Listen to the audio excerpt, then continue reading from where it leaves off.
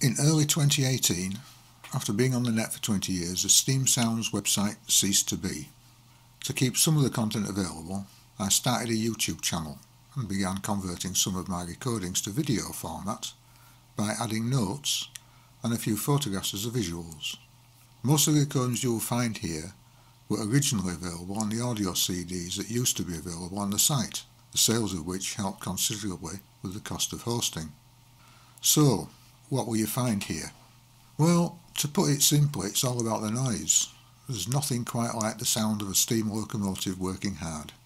If on-train recordings are your preference, look out for 46229 on SHAP.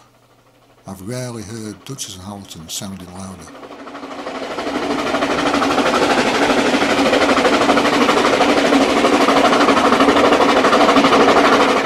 That's on one of my Steam Sounds riding behind Steam collections.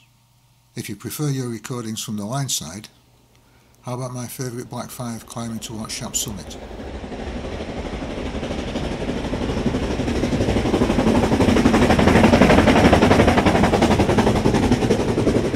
That's on one of my Steam Sounds from the line side collections. But it's not just about mainline and standard gauge. Some preserved lines are covered too, from the North Yorkshire Moors to West Somerset, and narrow gauge isn't forgotten, especially if you like the Festiniog Railway.